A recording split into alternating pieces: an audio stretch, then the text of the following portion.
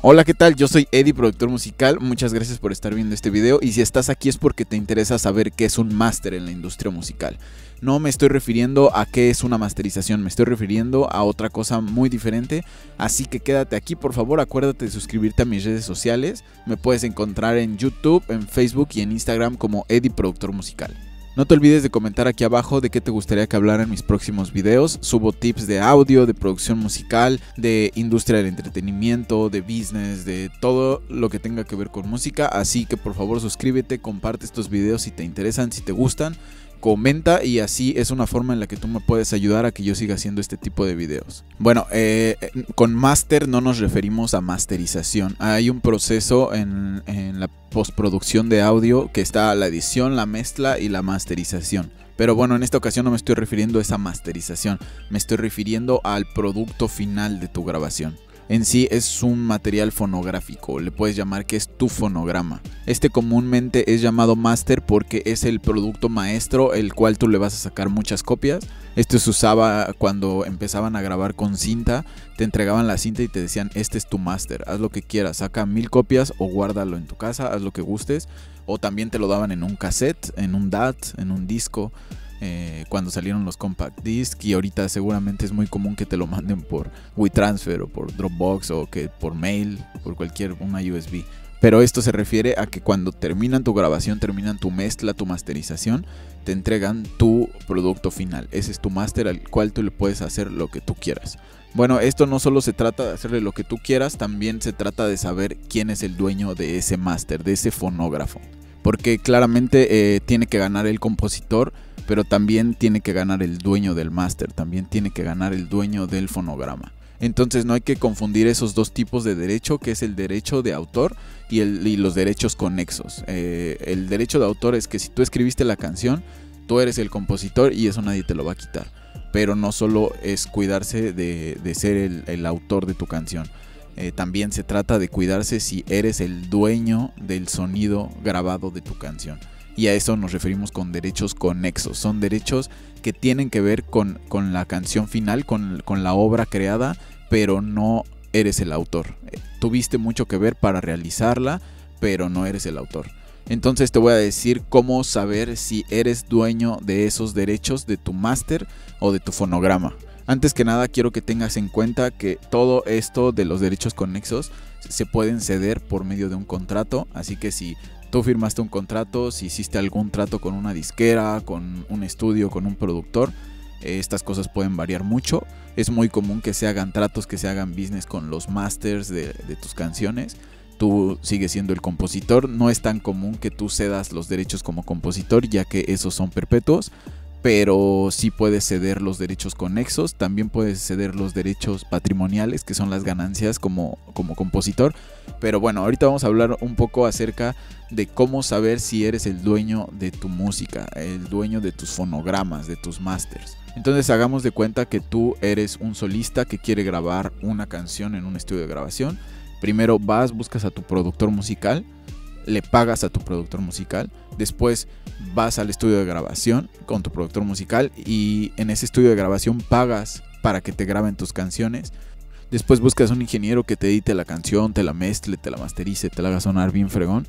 Y ya que le hayas pagado a ese ingeniero también y ya le hayas pagado a todos los músicos de sesión y la gente que tuvo que ver en todo el proceso de la grabación de tu canción, ahora sí te van a entregar un disco o en una USB, te van a entregar un archivo de tu canción. Por lo regular te lo entregan en, un formato WAV, en un formato AIF, en un formato sin compresión. Y ya que este te lo hayan entregado, ese es tu máster. Tú a partir de, ahí, tú ya puedes ir con una maquiladora a que te saque muchos discos, a que tú hagas lo que quieras, la subas a Spotify, a YouTube, lo que quieras hacer con esa canción. Tú eres libre de hacer lo que quieras porque ese es tu máster, porque tú pagaste a los músicos, tú pagaste al ingeniero, tú pagaste al productor, tú pagaste eh, el tiempo de estudio, pagaste la mezcla, pagaste todo, todo, todo. Es importante que cuando grabes algo, cuando vaya a salir algo tuyo, siempre firmes un release, un contrato de release. Y esto es muy importante porque tú le dices al productor que él va a trabajar y no por porcentajes. Tú le estás pagando y cuando le termines de pagar y él termine de trabajar, en ese momento los dos se quitan de responsabilidades y para eso es ese contrato de que él no va a pedir después algún tipo de porcentaje. También ese contrato lo tienen que firmar los ingenieros, lo tienen que firmar todos los músicos de sesión que, que tuvieron que ver en tu grabación y es importante que lo, que lo firmes para que después no vayan a reclamar algún tipo de porcentaje en esa producción y que quede estipulado que eso fue un trabajo por contrato que no tiene nada que ver con, con porcentajes y que no les pertenece a nada.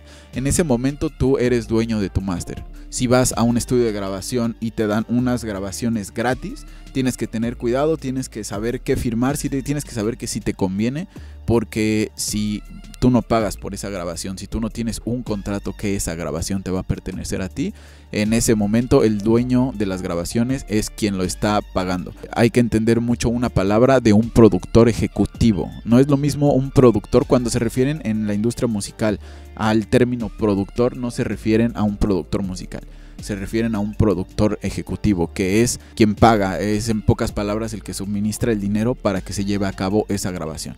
Entonces, este es el dueño de la grabación, el, el productor ejecutivo. Si el mismo productor ejecutivo vas a ser tú como artista, Tú vas a ser el dueño de la cinta, de la grabación, del máster, como le gustes llamar. Pero si alguien más es el productor ejecutivo, es el que está absorbiendo la deuda completa de todo, él va a ser el dueño del máster. Él va a tener los derechos sobre el máster. Ojo, no sobre la composición, sobre el máster. Es muy común que cuando tengas tratos o algún tipo de contrato firmado con una disquera, ya sea mayor o sea independiente, chicas grandes, es muy común que se mantengan muchos tratos, muchos convenios con esos masters. Eh, entonces te repito otra vez, con tus masters, no con tus composiciones. Entonces las disqueras por lo regular se quedan siendo dueños de los masters de las canciones, ya sea que sea porque absorbieron la deuda o por algún trato o por recesión de contratos y tú quieres terminar un contrato con una disquera, eh, te, pueden decir que tal vez sí, que te vayas, pero que los masters se quedan ahí en la disquera. Y esa es una forma muy común, se quedan las canciones en una disquera, pero a fin de cuentas las composiciones siempre siguen siendo tuyas, tú siempre vas a ganar como compositor. Y pues las disqueras, las editoras se quedan ganando de la grabación, de la canción, del máster. Entonces es importante que sepas esto, que sepas que es un fonograma, que sepas que es un máster, eh, a qué se refieren por cualquier tipo de contrato que firmes, cualquier cosa que, que estés enterado de quién es ese máster, quién es el dueño y también estar enterado que si firmaste un, algún tipo de contrato acerca de que cedes los derechos de un fonograma o de un máster, eh, se está refiriendo a eso, a la grabación del sonido, al, al archivo final, a la mezcla, masterización, a toda la grabación de audio le pertenece a otra persona, no, no te pertenece a ti. Te digo, no te espantes, es algo muy común en la industria que los dueños de los másters sean otras casas disqueras, editoras, eh, a otros tipos de productores ejecutivos, pero no te espantes porque tus canciones siguen siendo tuyas, tus composiciones son tuyas y esas nadie te las va a quitar a menos que cedas los derechos patrimoniales, que esto se refiere a las ganancias que los derechos de autor hayan generado.